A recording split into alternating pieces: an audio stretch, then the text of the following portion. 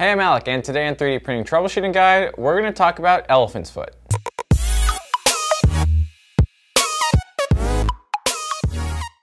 If you enjoy the 3D Printing Troubleshooting Guide series, be sure to subscribe to stay up to date with all the other tips and tricks I'll be providing on the different errors you can encounter while 3D printing.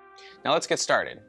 So specifically, elephant's foot is where your print, let's say a cube, has sort of a flare at the base. So instead of it being just a perfectly vertical wall, it's having some issue where the first couple layers are like extra squished out. And there's a couple different things that can cause that. So let's get into what those are. There's a couple different causes for elephant's foot, with the first being that your bed isn't level.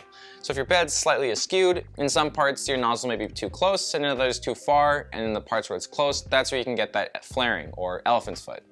You can also have a first layer height that's set too low.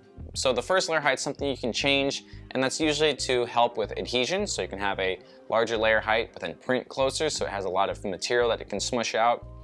Or you could have your extrusion rate for the first layer set too high, because that's another thing you can change. You can set it so that the line width is even thicker than your nozzle size, so it's really pushing out a lot of filament, and a couple different things like that.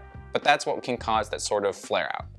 So now let's get into some of the solutions. So the first thing you can do is you can check that your bed is actually leveled and then do a Z offset calibration because even if it's truly level, if you're printing so that the first layer is just like 0.1 millimeters above the bed when it should be 0.3, that's gonna make a lot of filament squeeze outside of the path that's designed to be put down.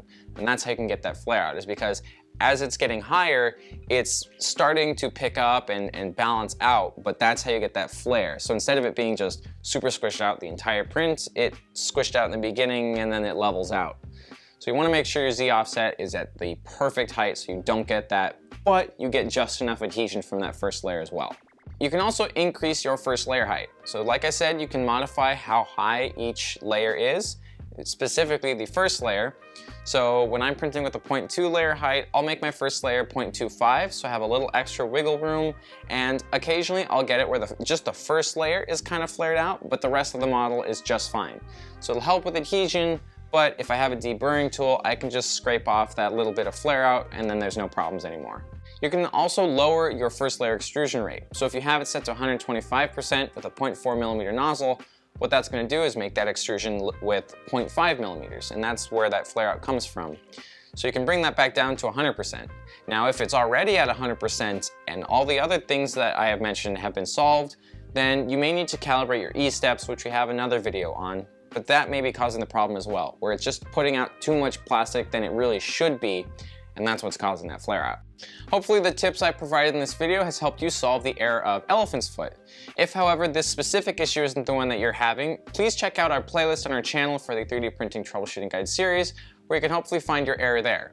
If however you don't see it listed, please don't hesitate to reach our support line at support at matterhackers.com or you can give us a phone call where you can talk to an actual person to help you troubleshoot your specific issue. Now stay tuned for the rest of the 3D Printing Troubleshooting Guide series where we're going to encounter all the other issues you may be having with 3D printing. I'm Alec from MatterHackers. Thanks for watching. Thanks for watching. If you like that, give us a thumbs up and be sure to subscribe to stay up to date with all the big builds, how-tos, and troubleshooting guides I'll be working on. And don't forget, check out matterhackers.com to explore everything 3D printing and to join the community.